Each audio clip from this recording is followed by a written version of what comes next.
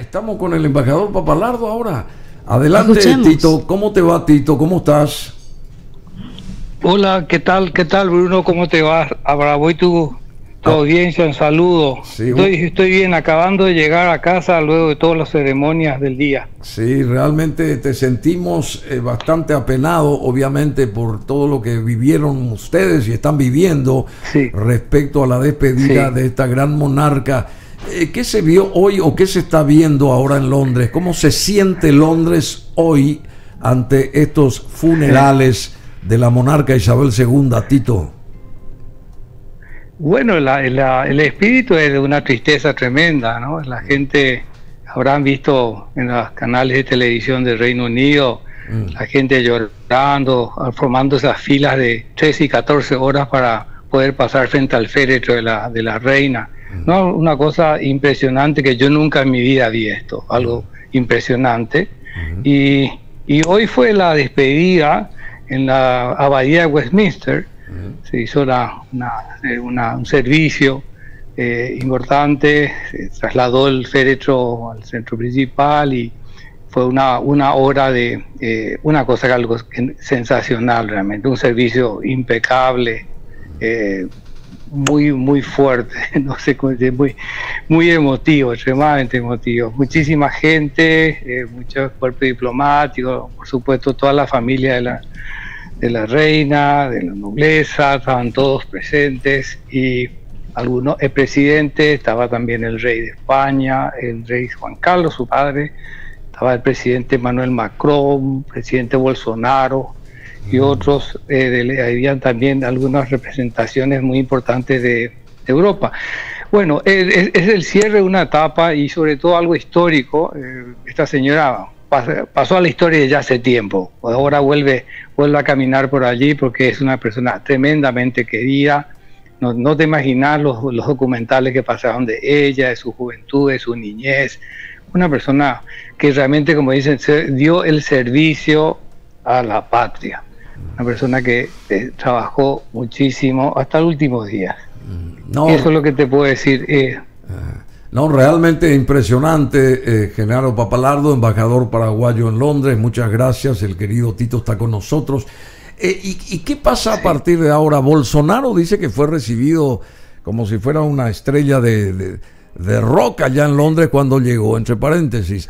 Eh, no, no sé esa parte. No, no, no, no, yo, escuché, yo, escuché, y vi imágenes también. Decime una cosa. Ah, sí. ¿Qué pasa a partir de ahora con el reino unido en cuanto a desde la escala, eh, digamos, desde la cúspide, digamos, desde la corona. ¿Qué pasa con Carlos III, eh, que empieza a reinar a los 73 años y la reina consorte tiene 75? Eh, digamos, ¿cuál es el espíritu, ya que tocaste ese tema, cuál es el espíritu de los británicos y bueno, acá, para con esta nueva pareja real? Y acá hay un respeto tremendo a la, a la, a la Casa Real. Eh, realmente eh, eh, lo que más se siente en este momento, te digo sinceramente, es la partida de la reina, porque eso es lo que básicamente, y la, la, asunción del nuevo rey Carlos III, evidentemente lo que le corresponde la, en la forma de la tradición de monárquica, eh, tiene, bueno, eh, yo pienso que va a ser un reinado eh, con, un, con una suerte de, un estilo heredado de la madre, mm. que yo siempre creo que ella fue la mejor profesora, si puedo mm. decirlo así, la reina de, de, Carlos, porque Carlos en su momento, o esta señora, en algún momento habrá dicho, él va a ser mi sucesor. Entonces, eh, yo creo que él va a ser, eh, va a seguir más o menos el camino de la madre, es lo que yo pienso. Eh, él, una persona que yo creo que tiene, está muy bien preparado, creo que va a ser un reinado muy importante. Evidentemente, ella empezó a los 26 años, no podemos comparar eso jamás con, con Charles presidente, perdón, con el, con el rey Carlos III que tiene 70. No, no podemos compartir eso, porque imagínate 70 años de, jubileo que cumplió, mm. bueno, 26 años tenía.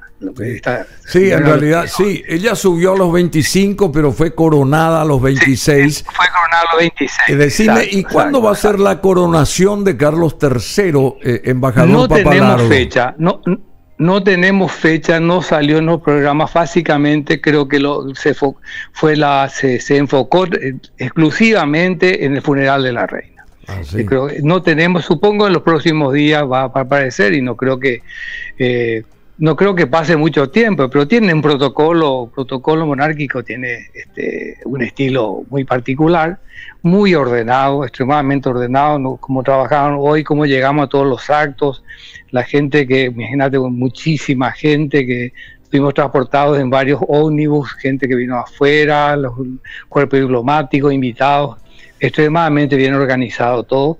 Ah. Y sobre todo, como siempre, los ingleses empiezan en horario. Empiezan o'clock siempre, ¿verdad? Por supuesto. a las 8 es a las 8.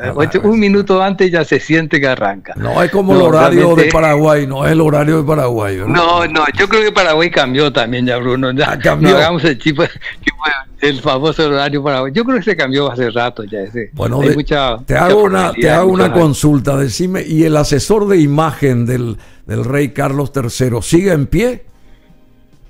Yo no sé quién será, porque no, no, no, yo como, supongo que... Como le vistieron ahí, estaba mal, eh, mal abotonado el saco.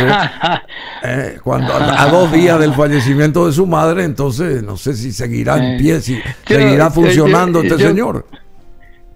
Yo ¿Eh? creo que fue un accidente. Yo, él, él, suele, suele poner, yo, yo digo que fue un accidente y yo creo que un poco la, mala suerte de una persona que, le quita la foto y lleva a la a los medios de prensa, un poco, un poco así para mí no, no me gustó tanto, pero bueno. Hubiera cortado esa parte, ¿verdad? Hubiera escaneado la foto. no, no, no, no. hubiera eh, escaneado la foto, entonces se cortaba esa parte del, de la. yo no sé, la verdad que no sé, porque él suele, él suele caminar mucho, yo le veo mucho, lo observé. Eh, también tuve oportunidad de hablar con él, creo, ya te comenté dos tres oportunidades. Sí, sí, sí, Y incluso ayer en, el, en, el, en, la, en la recepción que ofreció en el, Palacio de Buckingham, yo me acerqué y le digo, eh, embajador de Paraguay, yo, te conozco, me dijo. Ah, nosotros tuvimos una buena conversación hace un par de años, me dijo, tenía la memoria Qué interesante. que tenía. Hablamos y me dijo, sí, me, me recordaba. Ah. Yo digo nomás que él, suele caminar, camina mucho y mete el, la mano izquierda en el bolsillo. Creo ah. que de chico tiene eso, como y camina. Y yo creo que de repente se abrió, se, Sí, se abrió el saco y se volvió a cerrar. El saco y, se lo colgó sin mirarse en el espejo, una cosa así. un pequeño. No, tranquilo, yo te estoy te estoy cargando nomás con esto.